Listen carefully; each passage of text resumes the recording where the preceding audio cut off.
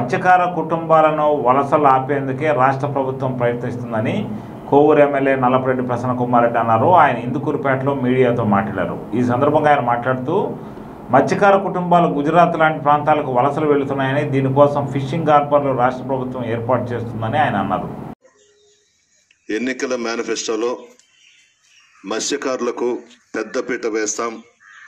అన్ని విధాల అండగా ఉంటామని చెప్పి చెప్పిన విషయం మీకు తెలుసు. అందులో భాగంగా మత్స్యకారుల జీవితాలలో శాశ్వతంగా మార్పు రావాలని గుజరాత్ లాంటి ప్రాంతాలకు వలసపోకూడదని మన జగన్మోహన్ రెడ్డి గారు రాష్ట్ర వ్యాప్తంగా ఎనిమిది షిప్పింగ్ హార్బర్స్ ఏర్పాటు చేసేదానికి నిర్ణయం తీసుకున్నారు. దాదాపు ఇవన్నీ కూడా రెండు దఫాలుగా చేయాలని చెప్పి ముఖ్యమంత్రి గారు నిర్ణయం తీసుకోవడం ఒక షిప్పింగ్ ల్యాండింగ్ కేంద్రాన్ని రెండు వేల తొమ్మిది వందల రెండు కోట్లతో దశల వారీగా వచ్చే మూడేళ్ళలో ఈ నిర్మాణాలన్నీ కూడా పూర్తి చేయబోతా ఉన్నాం. మొదటి దశలో నాలుగు షిప్పింగ్ హార్బర్స్ దాదాపు పదమూడు వందల నాలుగు కోట్లు శాంక్షన్ చేశారు. ఈ నాలుగు కూడా నెల్లూరు జిల్లాలో జువ్వల దిన్నె గుంటూరు జిల్లాలో నిజాంపట్నం కృష్ణా జిల్లాలో మచిలీపట్నం తూర్పుగోదావరి జిల్లాలో ఉప్పాడ.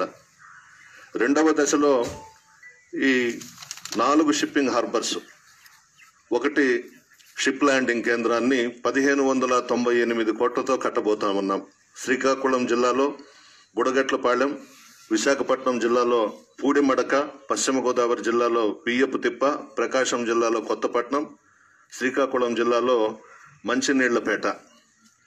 ఇవన్నీ కూడా త్వరలో ఏర్పాటు చేయబోతున్నాం. నెల్లూరు జిల్లాలో కావలి శాసనసభ్యులు సోదరులు ప్రతాప్ కుమార్ రెడ్డి గారి చొరవతో ముఖ్యమంత్రి గారు జువ్వల దిన్నె దగ్గర రెండు వందల ఎనభై ఎనిమిది కోట్లతో ఈ షిప్పింగ్ హార్బర్ మనం ఏర్పాటు చేయబోతా ఉన్నాం. అతి త్వరలోనే దీన్ని ముఖ్యమంత్రి గారి చేతుల మీదుగా కూడా మనం శంకుస్థాపన చేయించుకోబోతా ఉన్నాం. మత్స్యకారుల కళల్లో నిజమైన ఆనందం చూడాలనే ఉద్దేశంతో ముఖ్యమంత్రి గారు ఈ నిర్ణయం తీసుకోవడం జరిగింది. చాలామంది ముఖ్యమంత్రులు వచ్చారు. రాజశేఖర రెడ్డి గారి హయాంలో మనం ప్రయత్నం చేశాం. కానీ మత్స్యకారులకు రాజశేఖర రెడ్డి గారి హయాంలో చాలా మేలు జరిగింది. అదేవిధంగా మనం కూడా మేనిఫెస్టోలో చాలా పెట్టాం. కావల్ ఎమ్మెల్యే గారి చొరవతో షిప్పింగ్ హార్బర్ తెచ్చుకున్నాం. అదేవిధంగా మత్స్యకారుల విషయంలో మేనిఫెస్టోలో వేట నిషిద్ధం అప్పుడు నాలుగు వేలు ఇచ్చేవాళ్ళు. మనం పదివేలు ఇస్తామని చెప్పాం. ఇప్పటికే మత్స్యకారులకు రెండు దఫాలుగా టెన్ థౌజండ్ వాళ్ళ బ్యాంక్ ఖాతాల్లో వేయడం జరిగింది. అదేవిధంగా మత్స్యకారుల కుటుంబంలో ఎక్కడైనా ఒక వ్యక్తి మరణిస్తే గత తెలుగుదేశం ప్రభుత్వంలో ఫైవ్ ల్యాక్స్ ఇచ్చేవాళ్ళు. దాన్ని మనం టెన్ ల్యాక్స్ ఇస్తామని మేనిఫెస్టోలో పెట్టాం. డీజిల్ పై కూడా ఆరు రూపాయలని తొమ్మిది రూపాయలకు చేశాం. ఆక్వా రైతులు యూనిట్ కరెంటు కేవలం రూపాయ యాభై పైసలకే చేస్తామని చెప్పి ముఖ్యమంత్రి గారు నిర్ణయం తీసుకోవడం రాష్ట్ర వ్యాప్తంగా యాభై కోట్లతో ఆక్వా ల్యాబ్స్ కూడా ఏర్పాటుతో నాణ్యమైన ఆక్వా ఉత్పత్తులు కూడా చేసేదానికి ముఖ్యమంత్రి గారు నిర్ణయం తీసుకున్న విషయం మీ అందరికీ తెలుసు. మత్స్యకారులు వేటకు వెళ్ళి చాలా ఇబ్బందులు చాలా కష్టాలు పడతారు. ఏ ప్రభుత్వం కూడా గుర్తించలేదు. మత్స్యకారులకు ఒక గుర్తింపు తెచ్చింది దివంగత ముఖ్యమంత్రి వైఎస్ రాజశేఖర రెడ్డి గారు. ఇప్పుడు మన ముఖ్యమంత్రి జగన్మోహన్ రెడ్డి గారు. వాళ్ళు బాగుండాలి ఆనందంగా ఉండాలి వాళ్ళ కళ్ళల్లో ఆనందం చూడాలని చెప్పేసి ముఖ్యమంత్రి గారు అనేక నిర్ణయాలు తీసుకుంటున్నారు. ఎప్పటి నుండో పెండింగ్లో ఉన్నటువంటి హార్బర్స్ అన్ని కూడా ఈరోజు మనం రాష్ట్రంలో రాష్ట్రంలో పెట్టబోతా ఉన్నాం. మత్స్యకారులను ఆదుకోబోతా ఉన్నాం. మత్స్యకారులకు పెద్దపీట వేయబోతా ఉన్నాం.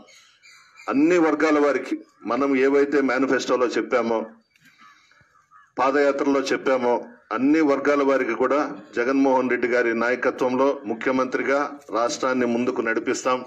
భారతదేశంలోనే ఒక ఆదర్శ రాష్ట్రంగా తీర్చిదిద్దాలని ప్రతిపక్షాలు ఎన్ని ఆరోపణలు చేసినా అవి మనం పట్టించుకోవాల్సిన అవసరం లేదు. మన పని మంది. ముఖ్యమంత్రిగా ప్రమాణ స్వీకారం చేసిన రోజు నుంచే అదే డయాస్ మీద నుంచే మన మేనిఫెస్టోలో పెట్టినవన్నీ కూడా ప్రజలకు ఒక్కొక్కటిగా చేసుకుంటూ వస్తున్నాం.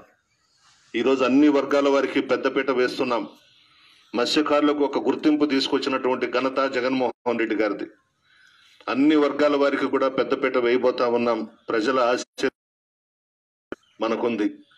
అదేవిధంగా ఈ లాక్డౌన్ విషయంలో ప్రజలు ఇంకా కూడా సహకరించాల్సిన అవసరం ఉంది.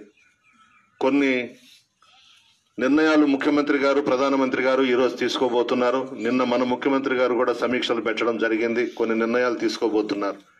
ఏదో లాక్డౌన్